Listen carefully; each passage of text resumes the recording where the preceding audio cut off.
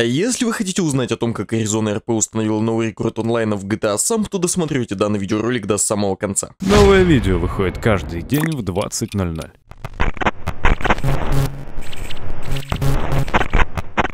Ролик сделан при поддержке Arizona RP. Вся дополнительная информация в описании. Но перед всем этим Аризона, ролеплей Феникс IP, а также мой никнейм Данте Коннор находится в описании данного видеоролика. Там же находится ссылочка на мой телеграм-канал, а, ну а мы как бы начинаем.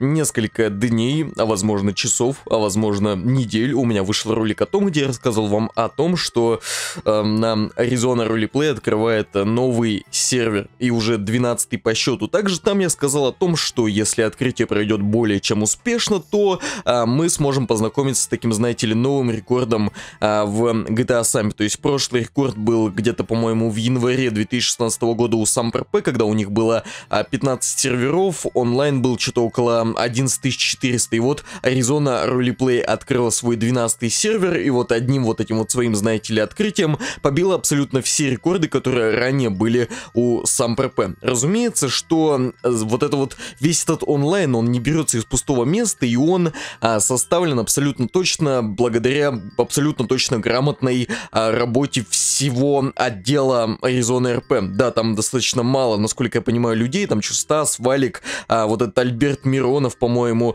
а если я как-то не так сказал, то я заранее извиняюсь, как бы вот все вот эти вот несколько, казалось бы, человек сделали то, к чему стремятся практически все а, GTA сам проекты. Установить рекорд по онлайну, стать самым популярным а, сервером в GTA сам, переманить к себе, там, знаете ли, а, всех ютуберов, чтобы на ютуберов, там, знаете ли, у них уходило а, мало денег, а вот с доната приходило вот прям, знаете ли, вот все вот эти вот а, миллиарды. И, в общем-то, Arizona RP в очередной раз доказала, что, ну, что они могут, они в самом деле могут. И вот только подумайте, всего каких-то 5 лет понадобилось Аризоне для того, чтобы стать топ-1 проектом в GTA Samp. А если вспомнить то, как все это начиналось, то можно сказать, что в них вообще абсолютно точно никто не верил. Если вспомнить, а, допустим, какого-нибудь Данила Герреру, его вот эти вот, знаете ли, а, все видеоролики, которые он выпускал, то есть там прям вот а, станет все понятно, что история-то у Arizona Roleplay достаточно сложная. И вот в этой самой сложной истории, когда казалось бы, что вот а, все у Аризоны все плохо, онлайн маленький, все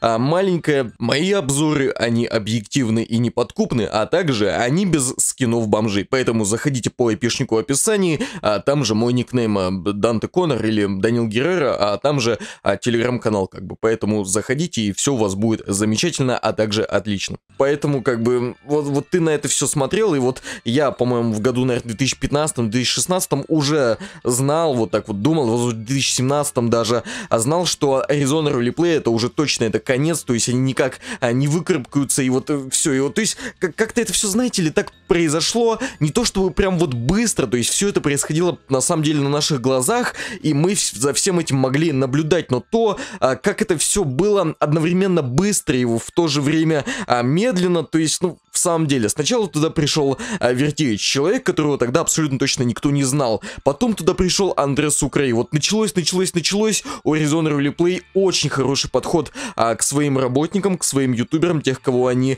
а, набирают к себе, знаете ли, на работу, то есть директор Arizona RP, пиар-менеджер, он достаточно отзывчив абсолютно ко всем людям, и, наверное, в этом секрет успеха Arizona RP. Наверное, в правильной рекламной кампании, в правильном построении обновлений на данном проекте заключается весь успех а, данного проекта, с чем я могу его, разумеется, поздравить. И опять же, вот, даже когда выпустили этот пост, что Arizona Roleplay, мол, а, все, она там топ-1 проект в Сампе, она побила абсолютно все рекорды и стала абсолютным рекордсменом, даже под этим постом нашлись люди, которые такие типа, ой, да сейчас бы вот про эту помойку что-то знать, вот зачем вы вообще ее сюда публикуете, ну донат машина, донат машина, донат машина, она осталась в году, наверное, я не знаю, 2016-2017 там или в 2015, когда вот а, Данил Геррера выпускал все вот эти вот свои видеоролики, и там в самом деле было рациональное зерно. Создатели, разработчики, там скриптеры и пиар-менеджеры Аризоны отсмотрели эти ролики с а, скрипом в зубах и приняли одно правильное решение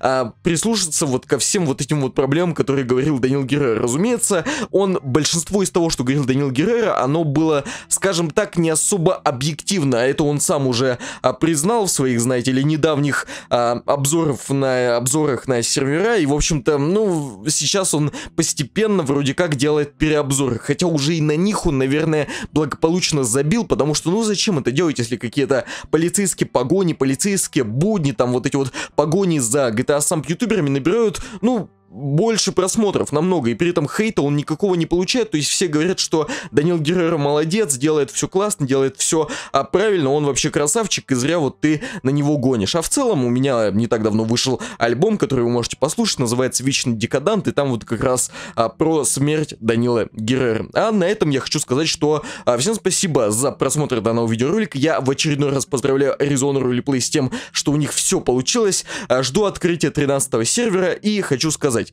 эм, Roleplay Phoenix IP, а также мой никнейм Данте Коннор находится в описании данного видеоролика. Там же находится ссылочка на мой телеграм-канал. Всем спасибо, всем пока.